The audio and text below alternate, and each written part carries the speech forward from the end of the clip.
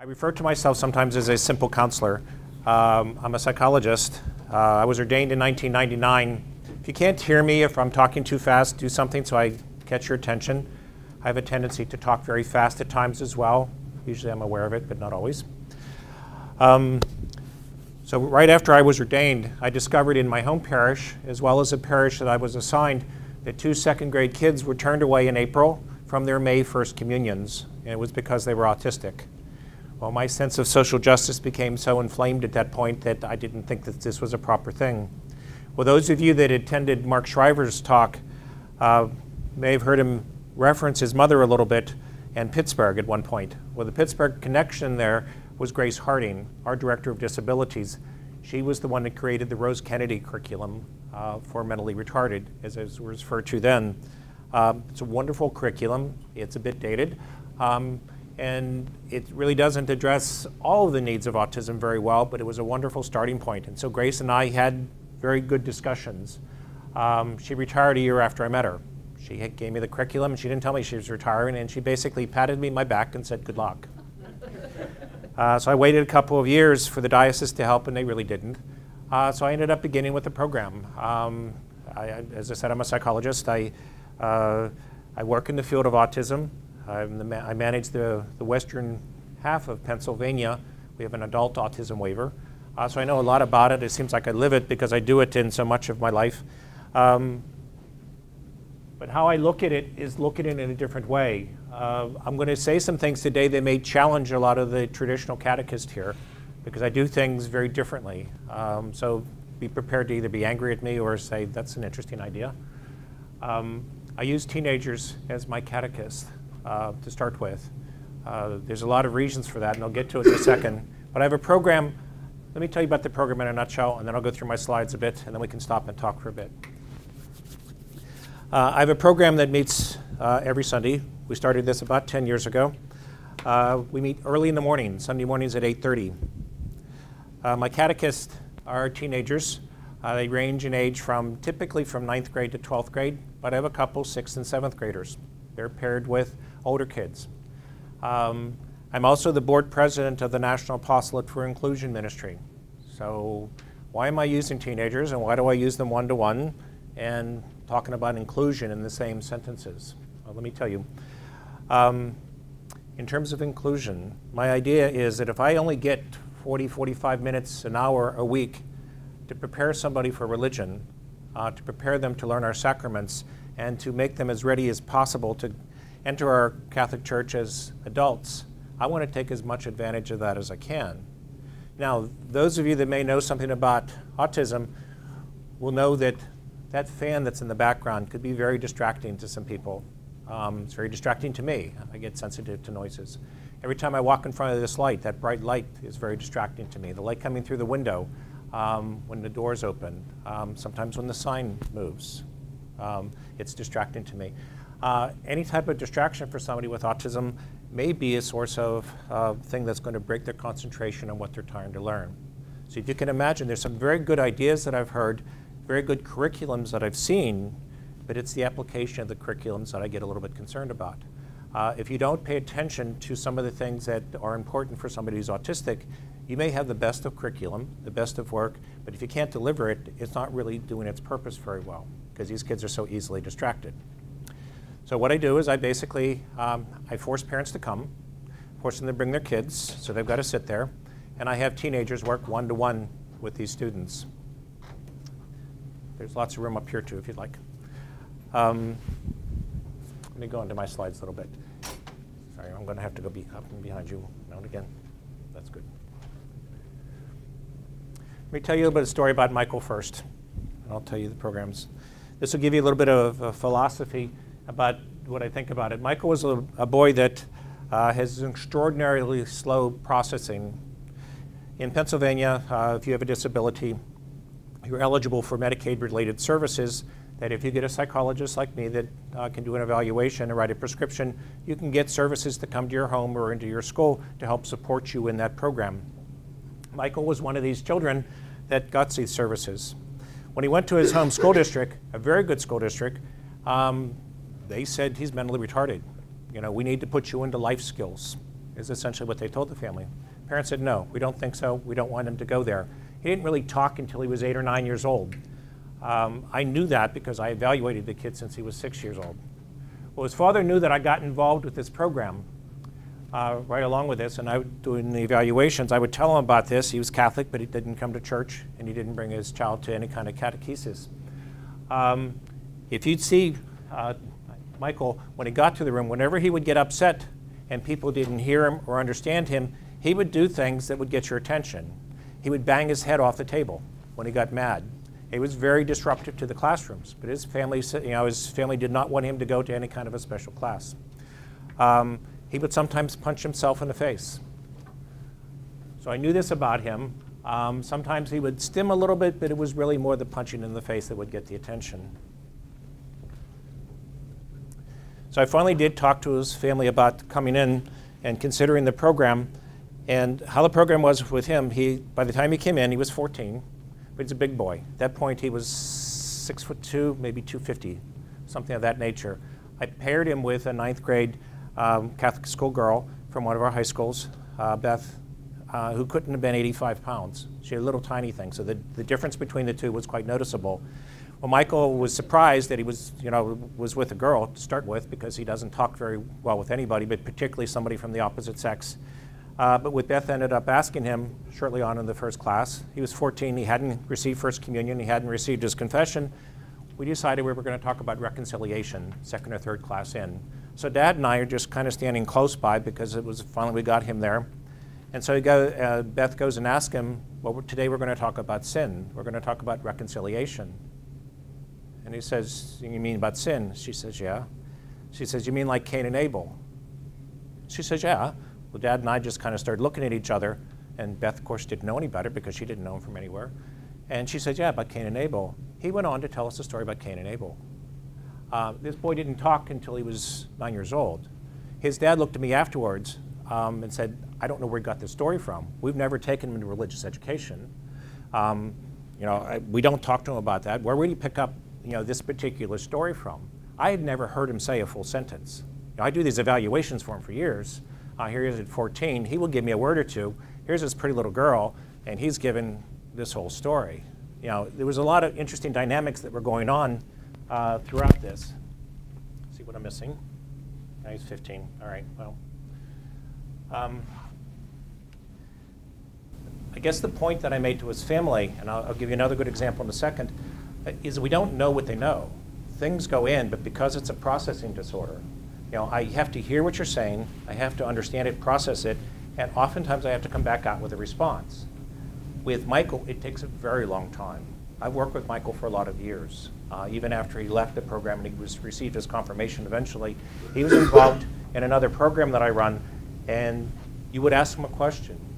And if you gave him enough time, I, I can't do it, it takes too long uh, he gives like five to eight to 12 seconds before he would respond back. But if you give him enough time, he will give you back a nice, thorough um, answer that's very concrete but very complete. He would think things through. When we gave him that time, he was very clear that he was a very bright kid. He can't take conventional tests. Now here's another young man I want to tell you about that I think will illustrate that a little bit better. Greg is a young man that um, when he was coming into school age education, which was around five or six years of age for him, they did an initial intelligence test. It was considered value, or, uh, valid by a certified school psychologist. An IQ of 64 is a score in the mid-range of the mild mental retardation range. He could have qualified for life skills. His family said no as well to that. When he got to be about um, into early high school, before he was 17 years of age, because Social Security entitlements allow you to qualify based upon a certain number, they redid another IQ test, a different psychologist, um, a different test because of his age. It came up with 72. Certainly it's in the range of that. It's a little bit higher. It's a standard deviation almost that much higher, but the interesting one is the one that when he ended up going to OVR. Now, my, uh, that's a score in the average range. Had they put him in life skills, the kid would have gone crazy because it wouldn't have been stimulating enough for him to do that. And again, what I my understanding of it is, is that he became more efficient at processing that information. What he heard, what he saw, he was able to understand it better and produce back what I needed to have on my intelligence test for it. It's really hard to know. When I do in-services for school psychologists, for example, I say, you know, although I'm a certified school psychologist, I'm really glad I don't do that work anymore uh, because you have to be very vigilant because that, those windows open and process very fast. And so somebody that may be at this level right now, two years from now, they may have begun to process it more efficiently. You need to keep up with it so that they're actually stimulated properly. I say this kind of information to you because it's very difficult because they don't give you a lot of information back. You know, you don't necessarily know what you're going to get back from someone because they don't like to look at you. You know what eye contact is? Is I look at each of you and look in your eyes, you know, that's an intimate type of contact with somebody. It's very difficult to do uh, because I worked at a school, and I can say this in this room, I, I won't get chewed out too much. Uh, I worked at a school that taught oral deaf, and so we learned to speech read. And so what I teach kids to do, or what I teach my consumers to do, is I teach them to speech read. If we hold things up towards their face, they get to see it, what the object is. They get to see how I actually pronounce things or say things. They're speech reading me. So their clarity, their understanding is much more clear. But if I teach them to look at your lips, that's not nearly as intimate as your eyes. They can't tell emotions very good. So through little gimmicks like that, they're acknowledging you when you talk, but they're not necessarily having that very hard um, emotional context of looking at somebody's eyes. Does that make sense to everyone? I think that there's lots of Michaels and Gregs in the world. Um, one doesn't really know what one knows. Um, you kind of have to, to keep going even though you're not getting much of the feedback. I wrote some interesting things. It's, we'll through part of this. I'm never going to get through all of them, but um, I'm going to skip that. I think probably the most interesting thing there is Cardinal Wuerl, when he was bishop at Pittsburgh, was the one who ordained me. Um, I do a lot of variations of things. He wanted some interesting stories. I'll be going back to Lagos in a couple of weeks. Um, you talk about autism in Nigeria. You talk about autism in places and how it's not diagnosed or developmental disabilities. When I was there last March, this is kind of just an aside from this, uh, autism's everywhere. Um, I don't know what causes it. It just seems to be prevalent. Uh, we, we, went on basically a mission. Uh, there's uh, six of us from Pittsburgh that go. Um, we saw all kinds of developmental things that I have only read about in textbooks. I saw children with um, elongated heads, um, various, so we'll go on, but uh, various forms of things because they don't necessarily know what to do even if they do identify it. Um, CDC estimates right now 1 in 88 children are now identified um, as having autism. Uh, if the diagnosis, if one's looking for it, one can actually diagnose it as early as 12 to 18 months of age. More typically, it's closer to between two and three years if you have people that understand how to um, diagnose it. Kim, would you add anything to that? Is that close? Okay. Yeah, yeah.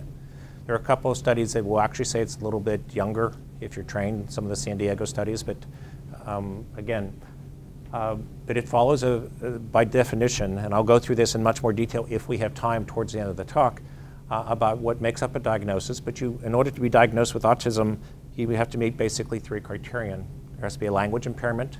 Language is impaired in some fashion. You're not speaking on time. You don't understand necessarily what you're saying. Parents are repeatedly rephrasing or restating sentences. So there's a language delay or language impairment. There's problems with socialization and the various aspects of knowing how to play, knowing how to engage in play, knowing how to do things with others, um, knowing boundaries. If I go up to somebody because I like something and I, I you're good, you're good, I'm not going to knock everything over if I get this close, I make people nervous and people respond to it. They don't necessarily recognize when boundaries are there because it's they want what they want and they don't recognize it. Or I might say something is, you know, why are you wearing that cross? Isn't that more like, don't women wear necklaces? um, and they'll say it very bluntly to you. Well, it's a deacon cross, so he's a deacon, so I can say that and tease him. Um, but things of that nature, they don't necessarily understand that. All right. I told you my story about the two little kids in 2003. Um, this is basically my philosophy in terms of if you only get an hour a week and you only have that amount of time, you know, my notion by doing this particular program is that by the time somebody is ready to be confirmed, if you can go through traditional uh, education that way, I want them to be as prepared as possible to join our Catholic community to the best levels possible. So that's my inclusion. That's where I actually make it to where I want you to be meaningfully included. There are a lot of good things that you can do in a group, but because of all the distractions and the various types of stimulation that will keep them from learning, I want to teach one-on-one while I have you in that opportunity to best do it, even though we do some things in groups. And I'll explain some of those things as we go. You're allowed to talk and ask questions or challenge me with things. I'm going to skip that. Program begins um, even as early as preschool, depending upon the levels. Um, you know, I know this is an old saying at this point, but if you've seen one person with autism, you've seen one person with autism. The variations are so different from each other. You know, I'll have, I have a mom that came in, um, I'll use this as an example. She drives to my class 35 miles on Sunday morning to be there at 8.30. Um, one of her boys um, is what would be considered Asperger's, somebody with an IQ. His IQ is actually well above uh, 110, I'm sure. Um, but high functioning is considered an IQ of 84 or greater. Um, it's like, well, 84 greater. Her other son um, is very likely um, to be mentally retarded um, in that range. He just doesn't process it. Um, they're as different from each other that way as they can be, but they're a year apart from each other. So they come into the program. Well, I begin my program with kids that young, and depending upon where they're at and whether or not they have language, I'm using a lot of Genesis in my first two years of my program as we put it together. Uh, it's a very easy way to start. I'll give you examples of the specific lessons in a little bit, but this is kind of uh, the format that I, I try to follow. There's an interesting example that happens after. I'll give you a, an aside right now for a second. But after confirmation, these kids that have been there for four or five years now, that becomes their social group. They actually now develop relationships with some of the people there. And as a result, they didn't want to stop coming. Curiously, several of the kids now, I've had three of them that have come back to be teachers themselves. Um, two of them with Asperger's, one of them with not such very high functioning form of autism have come back and either acted as a teacher themselves or acted as a teacher's aide for other kids with autism. Um, it's kind of curious, but it was because of the social context. They got used to coming Sundays. They got used to coming to see the same kids. They got used to having typical teenagers treating them like friends, is what ended up happening over the course of time. Another aside, if you don't mind. Um, my parents, when they began to see this, you got to understand, I have a group of parents that have been hurt by the church at some level. Um, you know, I'll tell you that in a second. So they're sitting there. They, I have a process group going from them at the same time. We started out in a very large library, and so I'd have scattered around where it could be at least quiet in the beginning, the classes going on, so the parents could watch the kids uh, working one-to-one -one with a teenager. They're watching them learning. They're watching their kids actually do things. They're watching their kids come back with either the social stories that they've written out, uh, the picture, religious picture stories, or sometimes crafts. So they're watching these non-educated teenagers teach their kids religion, um, and they said, this is wonderful. I want to do more. And that's the part where I get suckered in all the time. Um, things like uh, the Pittsburgh Penguins. We have a hockey team in Pittsburgh. Um, Sidney Crosby gives me his um, box to use a couple of times a year. It's a 12-seat box. And what I end up doing, the first year that I got the tickets for the, the games twice a year, um, I used to bring children with autism and their parents. And after the first game, I thought, this is really stupid. I kicked the parents out. And so I have the autistic children come, and I have their teachers. Um, so I have neurotypicals. And it was really interesting, if I can pretend to sit for a second. Uh, one of the, the, when the Penguins went to the playoffs uh, to go into the Stanley Cup one year, a couple of years ago. I had one boy with Asperger's come in. Um, it was his first game that he attended. That was a game when Pittsburgh played Philadelphia. They scored six or seven goals that game, and that clinched it to go in. The entire arena was just really crazy with people jumping and screaming. Even though we were in this little box, they could see everything. Here's this boy sitting in his chair, just kind of watching. He's moving. He's very mechanical. People around him are all crazy with their things. I brought him back to a game the next season. Uh, at that time, I could take him to two games. Um, brought him back. You couldn't have picked him out from anybody. What taught me in that instance was, and again, you know, I do this for a living. I, didn't even recognize it. What I'd learned from that kid was that you have to teach them how to have fun in different settings. They actually don't know that um, in many regards. I mean, I know it's common sense at this point to me, um, but new situations that they're exposed to, there's new sets of rules that go with it. So you have to understand then how to have fun in this situation. You know, if you're with people that you don't necessarily know, I've got to observe what everybody does. I've got to observe all the people around me in order to have fun. With the parents, they don't let you off. Because if you start doing this with them, be prepared because they're going to ask you to do other things. So I started with the Penguins. I ended up with a Boy Scout Venture Group. Um, so we try to do monthly outings. It's a photography group. Uh, we go to places periodically. Um, it's hard to get the teenagers, the neurotypicals, to go with us because you got to find things that are just schedules are so busy. You know, the one nice thing about 8:30 Sunday mornings, they're sleeping. I mean, I'm not really competing much more. Um, and the example that I use with the teens at that age, you know, what teenagers get up at 8.30 in the morning, you know, especially as the school year goes along, there's dances or late night dates or whatever. Um, I had one boy that came that uh, his mother basically forced him. It was like she was pushing his arm behind his back. His younger brother was had Asperger's, and she says, "This is something you need to do." So very reluctantly, he started to come as a teacher. I don't typically like to take kids that are forced, but you know, this was early on in the program. Third class, he's with a little peanut. This little boy, all he wanted to do was show a picture of his dog. Um, and Daniel was having a hard time getting him to focus. Um, after that third class, um, he must have said something. This little boy grabbed him around his leg with both arms and just hugged him. He just wouldn't let him go. The kid melted. It just became so close for him. that was his reason from that point on. You know, he was a sucker for any of, this, any of the things the kid did. He's very creative too. What I found is a lot of these teens can do things that I would never thought of. In this particular situation, what he would do is that he took a, he drew picture stories um, of the parables. And in every parable, believe it or not, there happened to be a dog. And that dog in every one of those parables happened to be this little boy's dog's name. That kid paid full attention to it. I mean, he was able, that was the gimmick that kept him there. Um, I wouldn't have thought of it, at least not right away, um, and that's what he did. So my lessons are taught one-to-one -one with these teenagers. I do an orientation before we start every year. Um, it's especially good for the new kids but it's um, anybody that wants to keep coming back. But it's just to give the basics of what autism is and what it isn't. It's a basic 101 autism course. It's fairly simple. It's a half a day. I can generally get them for that much. What I like to use as much, though, are the learning moments that come into a regular classroom. One of those good learning moments, one year it was very hot in Catholic schools, which is where I do mine, typically don't have air conditioning, at least not in Pittsburgh. So this was a pretty warm place. They had floor fans and autistic kids a lot of times like things that spin. Uh, this little boy was very active, very fast. Uh, he loved the fans. And before I knew what was going on, he went right over and he turned his fan on. So I'm there right behind him and I shut it off. He's quick. Every fan on that damn floor, excuse me, um, he had turned on and here's the deacon chasing him around this whole floor. The kids loved it. I mean, the teenagers just loved it. But that's learning moments. We talked about stimming and what stimming means. And when you get those opportunities to talk about it, it really becomes very concrete when you see something. When you see somebody running around and moving, um, you talk about what it's trying to do. If you see somebody starting to stim, it may be because they're upset or maybe because they're really excited.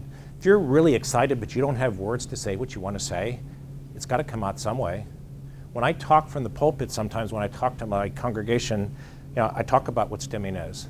You know, you hear these noises behind you, but if you get real excited because that stained glass is coming through our window and it's really bright with all these colors, you're very excited, you want to say something. Sometimes it's because the, the preacher is really boring, and so they start making noises. Their behaviors usually are their form of communication, and you've got to recognize that it's not to be disruptive, it's not to be oppositional to you, it's that something's not clicking correct. You may not be able to figure it out right away, but it's their form of communication for it. Nine times out of 10, or maybe 19 out of 20 times out of 20, um, it's not oppositional. It's really that they just don't get something. When that boy was, you know, uh, banging his head off the chair, off the table, it was because he was upset at something. He couldn't get his words out quick enough before that teacher moved on. You know, he was trying to say, slow down. As he got more articulate and comfortable with me, I start every one of my classes off you know, with um, right before we dismiss and go off to our various rooms, we do a simple prayer. In the beginning, I used to try to use a children's lectionary for the reading of the day. That's too long. Um, so I, would, I, thought about using prayers. The Our Father, that's too long for all the kids that are there. That's my one group activity. We use the Hail Mary. I must say the Hail Mary way too fast. I'm saying it as slow as I can possibly say it, but it was too fast for him. And halfway through it all the time, slow down, Dr. Sutton, slow down. Um, he wasn't talking that fast, but that's how he would get up and he would stand and he would push down like this to slow me down.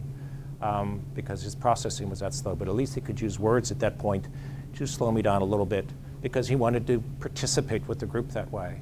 And when he was in his one-to-one lesson, he did just fine, and that teacher knew it. She didn't care. She was communicating to him, and she was giving him good feedback.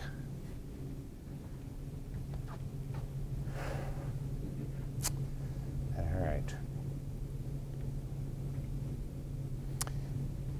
You can see some of my picture taking. Got to open the door, and what's at stake, of course, is um, heaven. Who is impacted? There's lots of people that are impacted by the program. And then with each of these people are various responsibilities. With this paper that I showed you in the beginning, uh, if somebody were to write me a note, an email, to ask me about how to work with this situation, I'd write out these very elaborate emails. I get tons of emails, and it was, was getting long. So I eventually joined the National Apostolate for Inclusion Ministry, thinking, okay, there's an organization, and it is, that we can get some of it out. but it's still, finally, I, I met somebody and basically worked with Loyola Press um, because it was hard. And you know, I'm doing this variation of a program, and they've invited me in, and they said, okay, we like your curriculum, your way of doing things, but before we're going to do that, I want you to write a book. And last summer, that's what this was. So they asked me last summer if I put together a book which talks about the method that I have um, been talking to you about today. Um, it gives some of the story, it gives a lot of the stories, but it gives the particulars on how to put the thing together, just so that I can have a frame of reference to go from. If that makes any sense. So that's why this is here. Um, everybody has a role. Everybody has a responsibility. Um, the kids with autism, they know their protocol. I made a mistake once. Um, we began using songs this year for the first time. Songs are okay. Music is a nice thing. Um, you're not necessarily going to teach new information, uh, but whatever your routine is, it really can't change week to week. Things need to be done in a certain way. Well, beginning by the song, I got lost in terms of what my protocol typically was, and I forgot to Hail Mary. One of my kids that had been there, is his fifth year, went down and had a meltdown. A kid that's been very successful because I, I didn't know it. I didn't know what was going on. I knew him very well because I've known him for a long time. His mom came up to me and you know said, "Hail Mary, we got it." I finally got him settled down after I dismissed the rest of the group. Um, but he's the one that I'd have to make sure, and I would never have guessed that this child was so rigid on it that he had to have that because I skipped it. Didn't matter that it was would have been a little bit later, but it's the fact that I was missing it altogether. So the routine that we follow with the children is really important. Anybody uh, have any ideas as to why the routines are so important? If there's a two hour snow delay in school, why is everybody else happy but these guys are really upset? The, the, um, the routine is very important. They want to be able to um, have things that they can depend on. Correct. If you can't predict the future, this is the executive functioning, the executive dysfunction. They can't really, every situation that's new is a new situation, so they don't know what to expect from it. Um, and so if a class is now shortened you know, their whole way of understanding what's to come next is going to be disrupted. So now they've got to worry about everything that's going to go on with them during the day. Um, it's very predictable then that that's going to be a very bad day for them. Um, so it's very important that routine, at least fairly closely, is followed. Children's families, they have a part of this. You know, I had one father that had me on trial for the first two years. Didn't know I was on trial. This was a story. This is, um, you're the only other clerk that's here, so I can say this, but um, the pastor in this particular church did something perfectly by accident, but his dad was um, upset. His, his, he has two autistic children. Uh, one of his boys was making lots of noise, and the usher came up to him and said, I don't want you to come back. Why, is why don't you take care of your son? Can't you go back to the cry room? Well, he became real upset at that, so he didn't come back. He'd been gone almost two months. He came back again. The pastor came up to him and said, You know, it's nice to see you back. I noticed that you weren't here before he got a chance to say why he wasn't coming, the pastor said, You know, I know because I didn't see your envelopes in the collection. He went crazy. Well, this, is, this was the priest's idea. He knew it just because he didn't actually look for him every Mass, but that was his way of knowing because his name wasn't there. But of course, Dad thought that all you want's my money. So he went crazy. Well, this guy told me this uh, towards the end of his second year. And he said he wanted to know if this was for real or if you were just trying to game me on something. People have agendas because people have been hurt and one has to be aware as to what the motivation is. early on, and you know, I'm a, I'm a counselor type, so uh, I wanted the parents there for a reason. I wanted to be able to allow them to talk about the church if they had problems. I wanted them also to see that they weren't by themselves, so we had that going at the same time as well. Um, but what emerged was some of these horror stories of what you know, basically they were exposed to, but it gave them a chance to get it off their chest. But ironically, what ended up happening is that some of these parents became Eucharistic ministers. Some of them became more involved in the parish in other ways all of a sudden. Some of them, and this particular guy, it's very hard to get him involved in things because he's very short tempered, um, but he's still involved now. He's at least when he's upset with something, he tells you about it right away and he doesn't hold it in. So that's an improvement. Um, but there are agendas, and now that my group now has 25 kids, um, which means I have 25 children with autism or some developmental disability, 25 sets of parents, 25 sets of teenagers. I got a lot of people coming in for a small program. I can't do the parents group by myself. One of my teenagers' parents happens to be a counselor from one of the agencies in our local area. She facilitates my group while our daughter is actually teaching one of the little kids, uh, which has worked out well. It's turned out to be a very useful uh, part of the program to have that. I've jumped around lots of ways, but can I ask you if you have an idea of what my program is right now or ask questions about it? Because I'll start going other ways. Go. Um, you've given examples where you've got, um, where your class, you have a class full of autistic kids. Um, I have situations where uh, one or two of my kids out of, out of say 12 uh, may have autism. And so I tend to present the material in, in a variety of different ways, just depending on which, which Right. method is best, you know, best for that child.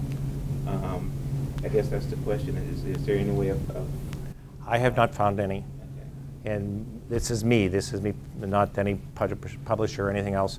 I found that if I only have this amount of time to work with these kids and I get them theoretically between first or second grade whenever they come in and, you know, eighth grade, I only have a little bit of time to teach them about God, to teach them about our church, to prepare them for confirmation. And if I have that much time, only that much, not counting the communication issues that are involved, I'm going to take that and work them one to one because there's also other things that occur with that. Look what happens to the teenagers. You know, by them taking these lessons that I'm giving them, they're having to relearn the material. So you think, oh, I'm done with confirmation in our diocese anyhow. Once I'm confirmed, I'm done with religion or CCD. I don't have to go back anymore. Well, they're reviewing these lessons, and not only are they looking at those lessons, but they have to rewrite them so that their child can understand them.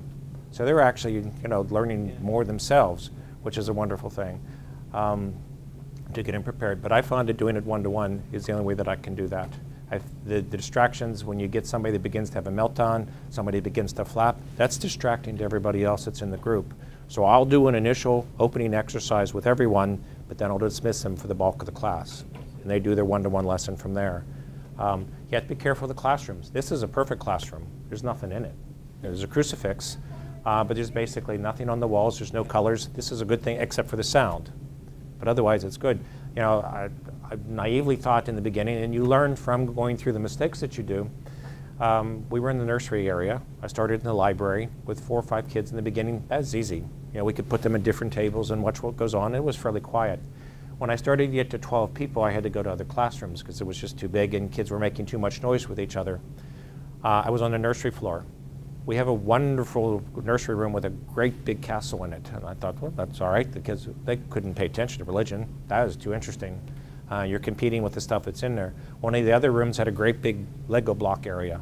I don't know how they could teach regular school in this because it was very distracting. But again, we couldn't use those types of classrooms because they were just too stimulating. Uh, so we had to go to the ones that were more traditional classrooms to keep them into it. Um, yes, ma'am. How do you get controlling parents to trust the teens?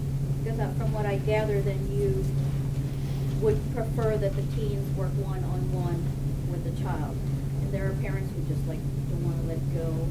And um, I'll just give your name to them and say that you said it's okay. Uh, you can do that, but I mean, that's the rules. Know, the kids have to follow the rules. If you want to come into this program, I only have a couple basic rules. And one of the rules is that the teenager, after every class, has to give the parent a homework assignment. Believe it or not, that's hard. Teens don't want to talk to these adults, even though they're working with the kids. But You know, I try as hard as I can that way. But they, whatever lesson they review, I want the parent to review it at least once during the upcoming week so that you can build from that to go on to the next lesson. You're right, that's a very hard thing, but that's, that's part of the rules. They have to do it um, because they're choosing to come in. That's how this is set up. I mean, if you want it, it's been successful now. We have, you know, many, many kids have received the Eucharist. I have um, my sixth and seventh kids are being confirmed this year. Um, a lot of kids have gone through the program, and it, it's working. So How do you um, pair up the kids with the teenagers? Is it by gender or um, that's the part that it's. it, it, it is a lot of the Holy Spirit, but um, many of the children, at least initially, were kids that I had assessed. So I knew the kids fairly well, and I knew a lot of the teenagers. So the personality stuff, a lot of it's good guesses. Um, you know, that relationship, as I described the one boy in the beginning, you know, you don't give him any guys. It's mostly girls that are the teachers. Um, but the guys that you get, do get, you want to try to pair with kids that really need the, the role models in particular, because it's hard to get that type of thing happening. Their teachers, their aides are all female. Um, but you try to just make that type of guess, and you watch how their teaching styles are. The most important thing isn't, you know, how they got on initially in the beginning. It's the communication style. You know, I've had some teachers. I had one young woman. She was marvelous. She could teach any CCDs. She she was a homeschooler. Uh, she knew her religion extraordinarily well, but she spoke it, and she didn't use the crafts or she didn't use the social stories. And if you're processing oral language like that, that auditory processing problem that these kids had was very difficult for them to really understand. Um, so I had to move her to somebody that could, more like someone with Asperger's, someone that could keep up with, even with slower down, she could do that. But she was conveying it too much verbally, as a traditional teacher would, rather than how one would do it with. And that's the only exception I've had so far, knock on wood. Everybody else has really been, they like the social stories. They like making the pictures because they draw the pictures out, even though they may not be very good. The child then colors them in, or they do crafts. I had one little kid there with very little language. Um, it was Advent. We're trying to teach it. He didn't have much concepts. Well, um, his teacher, who ended up actually going right through college, right through Duquesne University as a special education teacher, um, she made this wonderful Advent wreath. And I can still remember Cody coming up to me, taking me by the hand and taking me to where the, the flame was, put my hand there and pulling it real back real quick, saying hot. He got the concept because of the cleverness of that particular teacher. Uh, the ideas that some of them come up. I have one kid, I, I guess it was one of the earlier groups we were in, very fast. You couldn't get him to concentrate for anything. Um, for whatever reason, this kid used a whiteboard, his teacher. Um, whiteboard to me is very boring. He would, he would draw things on there, his lessons, again, words. Well, this kid's real smart with Asperger's, but he, I know you're not supposed to uh, diagnose ADHD at the same time, but I can't imagine that the two aren't there. With that whiteboard, he sat and he would participate. The, the kid would, the teacher would write things, he would write back on it. Where the ideas come from, I don't really get. You know, I give the lessons, I supervise it. You know, that connection there was magic because nobody else could work with him. He was just too quick and he wanted to fool around too much and he couldn't concentrate. He's the one, if you ever come to my mass at 9.30, you'll see running because, uh, you know, he's third grade. you'll still see him running up towards the altar. His mother's got to grab him back. His little sister's not quite as active, but she's also autistic. Poor mom's got her hands full with things. Um, right. We practice. I'm way off my stuff, and I'm never going to get to finish. What time am I going to? 2:40. Hmm, we're going to talk fast then. um, I'm going to talk to you about rituals a little bit. Rituals need to be practiced. Um, receiving uh, First Communion, um, beginning January every year, I use non-consecrated host, non-consecrated wine. Um, I have my teenagers act as um, Eucharistic ministers, and we practice the sequence. In the very beginning, uh, I, I begin in January because I want to go a couple weeks so that they can see it. I stop in February, we begin again in March because I don't want to overload them with it. They look at that host, they take a bite, they sniff it. Um, again, the little boy that took my hand towards the flame was real interesting when he got to the wine because I had a nice, I had one of the chalices. He swished it around, he smelled it, looks just like grape Kool-Aid. He took, a, it wasn't much in it, but he took a great big swig. He spat it all over the floor because it didn't taste like Kool-Aid. But in my classroom, who cares? It was linoleum floor. It wasn't a big deal. He never, um, but if he would have done that in church, that'd have been really a big catastrophe there.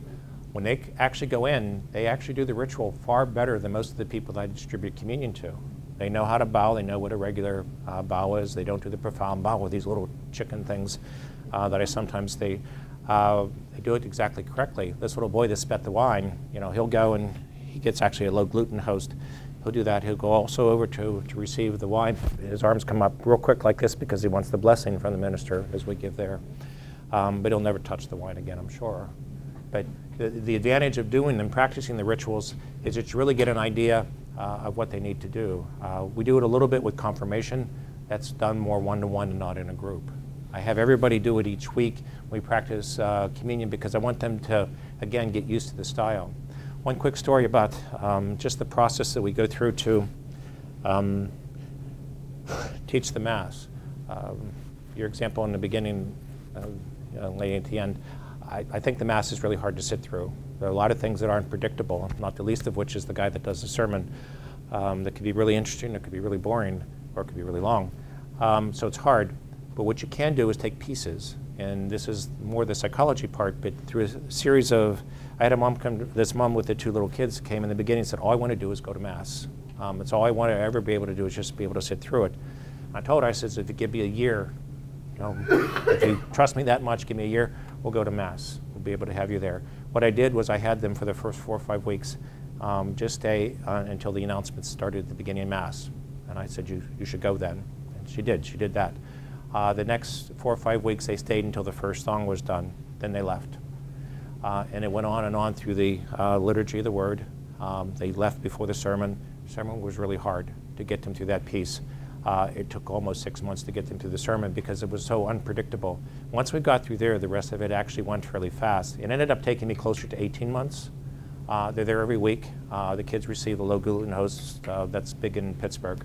Um, he's, but they know the, the protocol is just fine. And this is a boy with Asperger's and another boy with much more severe autism uh, that they come each week. The things can be done, but you need to understand who it is that you're working with. You need to understand the families, their willingness to work. Um, communication is really the key. You need to understand how these children un understand. You know, I think the cutest thing is when we practice reconciliation. Um, get nonverbal kids, how could they possibly go through reconciliation, you might think? Well, you know, you look at the behaviors that they do bad. You ask mom and dad, you know, tell me the things that you'd like them to stop. Are they punching their brother? Are they, um, you know, leaving their clothes on the floor? You get them to give you the list of what they would consider sins or bad things, and you get the, the list of things that are good. Well, you make little cards, picture cards, that represent it. Uh, what are the things that you know you've done that hurt God? What is are these sins? And you teach them that association. Uh, what I do after I teach them, or I have the um, students teach them that, I have them then teach the priest. And that's the coolest part. Is this priest is very tolerant with me, my pastor, is that he has the teenagers actually let them in front of the kid um, teach him how they communicate with each other, and then he takes them into the confessional and they've been successful that way. So the teenagers are actually teaching the priest how to communicate with these kids um, so that they can successfully do it. It's worked is all I can suggest. Uh, there's a whole lot more to it, and I talk way more than I'm allotted time.